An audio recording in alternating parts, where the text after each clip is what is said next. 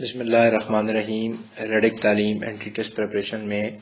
अब जो टॉपिक हम कवर कर रहे हैं, वो है vectors vectors FSc second year की जो बुक है, इसका लास्ट चैप्टर है। वेक्टर्स के टॉपिक में, जैसे कि मैं पहले भी वीडियोस में बताता रहा हूँ कि बुक रीडिंग जो है वो बहुत ज़्यादा इंपॉर्टेंट है और इसमें जो इम्पोर्टेंट टॉपिक्स हैं, उसमें direction angles and direction cosines इनके बारे में आपको पता होना चाहिए वैक्टर्स की मल्टीप्लिकेशन कैसे होती है। उसके बाद स्केलर ट्रिपल प्रोडक्ट का जो टॉपिक है दिस इज़ वेरी इंपॉर्टेंट और properties of the dot product and the cross product these are also very very important dot product और क्रॉस प्रोडक्ट की कौन कौन सी प्रॉपर्टीज़ हैं?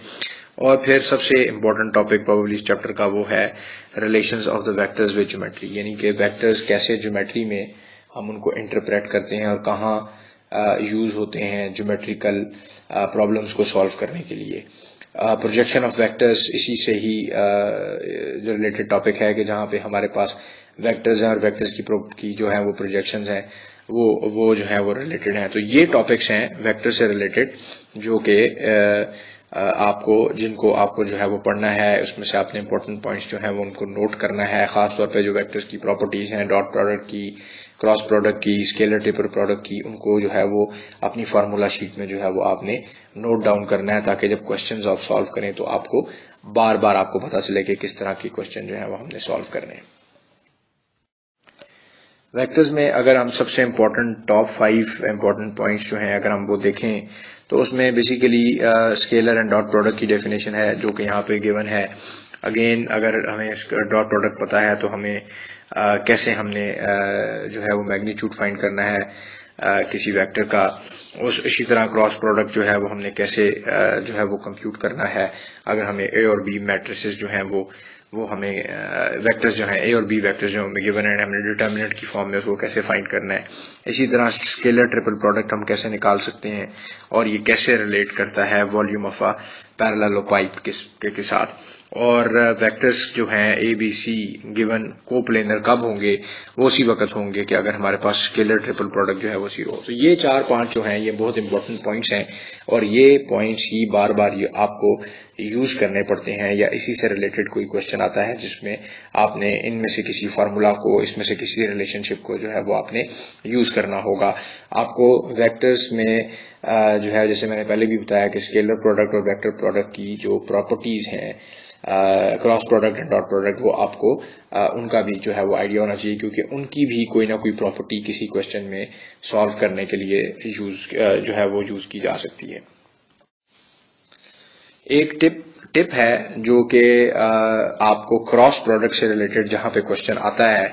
वहाँ पे अगर आप, आपको वेक्टर का वेक्टर प्रोडक्ट निकालना पड़े तो वो डिटर्मिनेंट मेथड होता है डिटर्मिनेंट मेथड जो है वो काफ़ी लॉन्ग होता है। यहाँ पे बजाय इसके कि आप डिटर्मिनेंट कैलकुलेट करें और कोई लंबी चौड़ी कैलकुलेशन में जाएँ अगेन एमसीक्यू की जो ऑप्शंस हैं, जो चार ऑप्शंस गिवन हैं, उनको इंटेलिजेंट तरीके से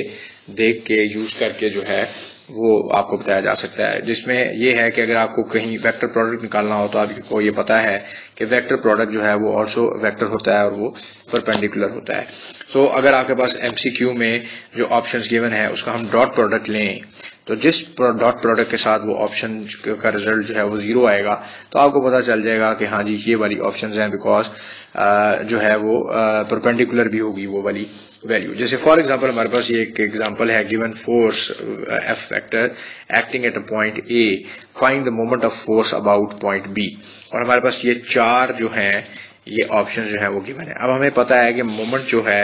या टॉर्क जो है ये it is a vector product of R into F अब हम इसमें अगर हम जाएँ तो हमें सबसे पहले आर जो है वो कैलकुलेट करना पड़ेगा।